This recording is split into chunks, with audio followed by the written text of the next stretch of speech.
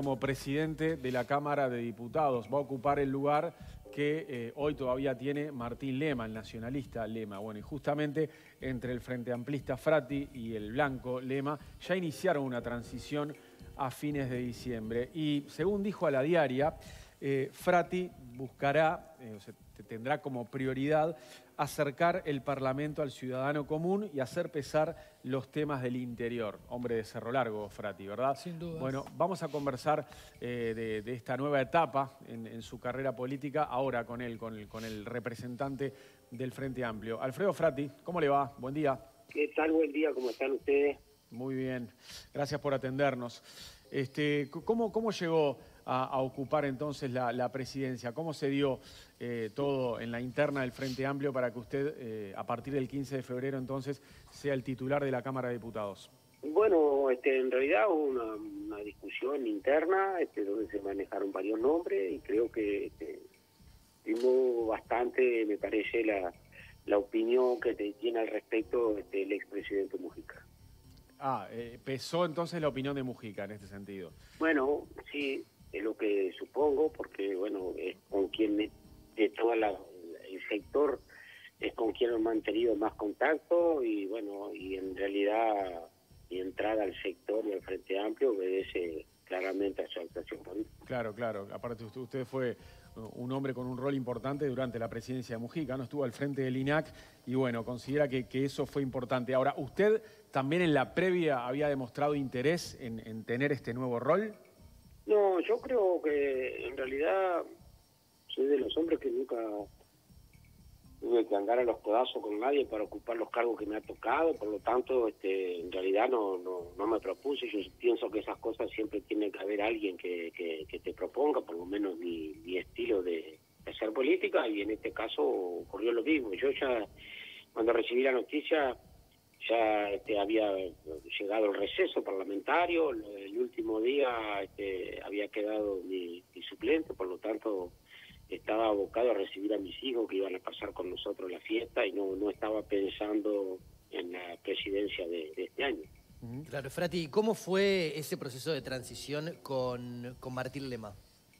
bueno, fue muy bueno, me llamó para decirme, bueno, que obviamente que me felicitaba, que estaba a las órdenes, comenzamos una una reunión, bueno, en la cual este, nos mostró el despacho, cómo había trabajado, qué eran las cosas que estaba haciendo, y también, bueno, una, algunas recomendaciones para adelante. Y yo creo que eso es una cosa que nos tenemos que felicitar los uruguayos de, la, de lo que es la, la, defensa de la institucionalidad, más allá de los hombres, los sectores, los partidos que, que tengan que ocupar ese lugar, que claramente eh, es un lugar que, que, representa la institucionalidad uruguaya, que tiene este, valor el cargo por, por sí mismo y que hay que mantener en alto estas cuestiones y dejar la, esta rencilla que tenemos entre los diputados para, para los que quedan en el Pleno y, y nosotros buscarlo a tratar de administrar el Parlamento y administrar la discusión. Claro, él, Lema en, durante el periodo que estuvo este, al frente de la Cámara de Diputados, lo que, lo que hizo fue eh, impulsar algunas políticas de austeridad, también de, participación ciudadana. ¿Usted planea seguir en esa línea? ¿Lema le pidió específicamente que continuara trabajando en algo? Mire, yo soy de los que pienso, este, cada uno que asume un cargo no tiene que considerar como tierra arrasada y que la vida empieza cuando uno llega. Entonces creo que esto es una carrera de posta, independientemente del que esté, entonces aquellas cosas que tienen andamiento, como un programa de modernización del Parlamento, seguramente le va, lo vamos a seguir. Las cuestiones que se hayan ajustado para darle austeridad al Parlamento no, no van a haber este, modificaciones. Creo que de lo que se ha hecho hay que seguir avanzando, así lo hicieron otros presidentes. bueno, los tiempos van cambiando, las costumbres también, y a veces las señales este, también hay que irlas cambiando y en ese sentido este, vamos a tratar de hacer otras cosas, ¿verdad? Como esto que me parece imprescindible de, acercar más el Parlamento al, al, ciudadano. Sí, es verdad, yo hice unas declaraciones en ese sentido porque me parece, me parece no, siento que eh, como legislador del interior que cada vez que, que volvía al departamento, este, a veces habíamos terminado una discusión acalorada hasta la madrugada y, bueno, y no era la preocupación. Y para nosotros era el mundo que estábamos viviendo. Sin embargo, este, para la gente no, era lo más importante. Y por ahí nos planteaban temas que a veces no se, no se trasladan al Parlamento. Creo que en algunos momentos, no en todo, todas las decisiones que toma el Parlamento afectan la vida de los ciudadanos. Pero a veces tengo la sensación de que, en el Parlamento hay algunos momentos que vamos por una por un mundo, una vida paralela al... ¿Dónde lo ve concretamente eso? Y bueno, en esto, en, los temas, en la importancia, por ejemplo, a ver. tú suponete que, este, digo, esto no es culpa de nadie, ¿no? Esto es, producto de la sociedad que es conformada por todos. Eh, nosotros, por los periodistas, por los, que van al Parlamento. Eh, para el interior, para todo el interior, diría yo, salvo el área metropolitana, el campo y las cuestiones que tienen que ver con el campo son absolutamente determinantes de la vida de nuestra ciudad y de nuestro pueblo en el interior. Yo integré durante todo el periodo pasado la Comisión de Ganadería y bueno, y también presidí este año. Y te diría que salvo alguna vez, en el periodo pasado, creo que una vez en todo el periodo este, había algún periodista apostado a la salida de una comisión. Y en este año creo que una vez que fue el ministro, que se suponía que podía haber habido algún problema, este, de varias veces que fue, también había. Por lo tanto, este, no es noticia. Bueno, eso es una vida paralela, porque para la mitad del país, y es que se puede decir la mitad del país, este, porque es la mayoría del territorio, estos temas que son cruciales y no son tomados por la por la sociedad y obviamente el político responde a, los ciudadanos y a los, a los electores. Por lo tanto, si esto no tiene trascendencia y no hace carne en la gente, eh, difícilmente se ha tomado eh, con la misma fuerza, tanto por los políticos como este, por la prensa, y por lo tanto eso hace que algo que es central para el país, que además aparece este, cuando hay crisis. ¿no? Yo recuerdo en la crisis de los años 2000 que Valle decía la vaca les gana, ¿no? Este, pero después que habíamos intentado ser plaza financiera, país de servicio, todo ese tipo de cosas. Y ahora otra vez, ¿no? Con esto del COVID, bueno, lo único que no paró es el agro, hay que esperar que el agro este, se afirme, que repunte, ¿verdad? Eh, pero cuando estamos en, en una normalidad, digamos, estos temas no hacen. Bueno, yo creo que esos son, eh, para mí, eh, humildemente, son vidas paralelas. Y Frati, en concreto, ¿cómo, buen día, ¿cómo, anda? Pero ¿cómo se propone generar esa, ese puente que una los temas importantes con la gente del interior y, con el Uruguay? Y bueno, tratar de, estar más presente y buscar alternativas, como se ha hecho en otro momento, este, con el tema de la... Sobre todo con la gente más joven de las escuelas, de los liceos, de la SUTU, la SUTU agraria, este, propiciar concursos en los cuales se puedan hablar de estos temas. Creo que hay que traer este, alguna visión artiguista al, presente, ¿verdad? La institución del año 13, todas esas cuestiones que nos hacen, este, bueno, que hacen una referencia al pasado, pero un pasado este, bien importante y que es referencia para todo y que no distingue banderas políticas. Bueno, yo creo que por ahí vamos a ir intentando, este, veremos si nos da la capacidad y bueno y, si tenemos este, algún efecto. Yo creo que la evaluación que hago es que nosotros lo que ocupamos banca en la diputación en el senado estamos como devaluados en la sociedad.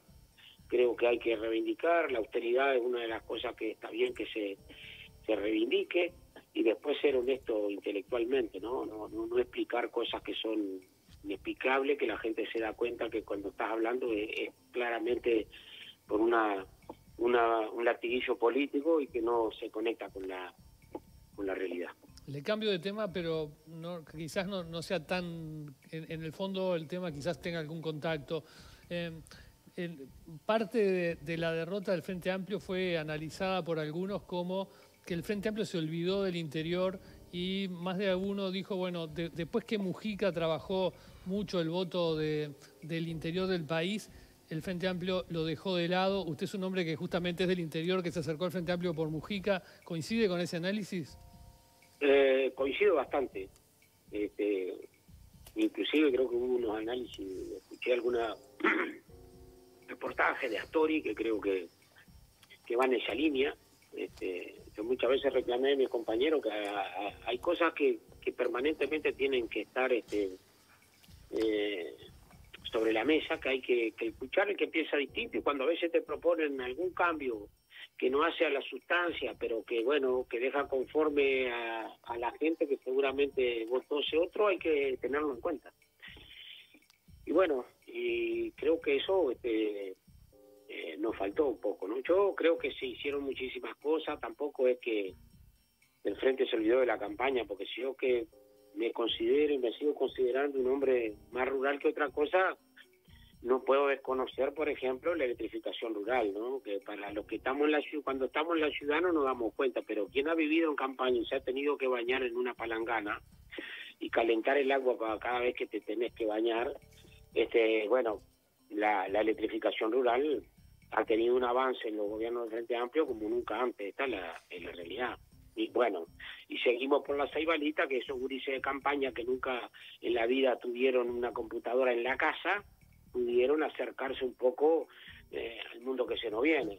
Entonces, no ha sido totalmente olvidado, pero tengo que reconocer que hubo otras cuestiones, sobre todo lo que tiene que ver con lo productivo, que creo que no se atendió en su momento o este no se le dio el lugar que, tiene que tener. Por lo mismo que yo hablaba antes, ¿eh? Porque siempre se cree que hay otros sectores que tienen que ser atendidos antes que el sector agropecuario, porque además, el sector agropecuario en general, y sobre todo el que más precisa que le tiren alguna ayuda, que el mediano y pequeño, no tiene mucha posibilidad de juntarse, ni de hacer lobby, ni de viajar a cada rato este, para pedir una reunión en el Parlamento. También es una realidad que tenemos porque es gente que está dispersa y bueno, a no ser en los eventos rurales le cuesta mucho juntarse y hacer ese lobby que una cantidad de gremios lo hacen. Pero bueno, yo creo que, que hay parte de eso y, yo no digo que sea la única causa, ¿verdad? Porque a mí me parece que las victorias y las derrotas electorales nunca son monocausales, siempre son multicausales, pero creo que hubo un poco de eso, por lo menos si desde el gobierno no hubo la intención. Los que estamos en el interior lo sentimos de esa manera. Eh, Frati, en este primer año de gobierno de, blancos, colorados, cabildantes e independientes, ¿cómo, ¿cómo califica usted el uso de las mayorías parlamentarias que hizo la coalición multicolor? Y bueno, en realidad están usando lo mismo que le criticaban al frente, pero yo eso, este, cuando nos criticaban me parecía que si la ciudadanía tenía la mayoría la podés usar, está dentro de las reglas de juego, y ahora que estoy de este otro lado y que somos minoría y que usan la mayoría, este, y así, la verdad, metieron boca abajo la luz, el presupuesto, eh, en un año atípico, en lo cual este, no hubo movimiento por, por todas las causas que nosotros conocemos. Y bueno, pero hay que aceptar, porque estas son las reglas de juego y este es el lugar que nos dio eh, nuestros conciudadanos y hay que aceptarlo como tal. Yo sé que a veces cuesta, después que tuviste unos años en el gobierno, pero me parece que es parte de la vida política y de la democracia. Nos tocó ser minoría y hay que aceptar la mayoría que está en el otro lado y el uso que hacen, más allá de que uno esté conforme o no con, con las leyes y las decisiones que, que se toman. Pero la verdad, este no me gustaba cuando criticaban que el Frente Amplio usaba la mayoría y yo no voy a hacer de este lado lo mismo. Y eso es honestidad intelectual. Dan la mayoría y la mayoría la usan como creen que mejor les sirve a su interés o a los que pretenden representar y ahí no, no hay nada que reclamar, por lo menos desde mi humilde punto de vista. Diputado Alfredo Frati, muchas gracias por estos minutos. Que pase bien. Muchas gracias a ustedes y, estamos, y nos estaremos viendo seguramente un poco más seguido. Cómo no. Abrazo, suerte. Saludos. Chau.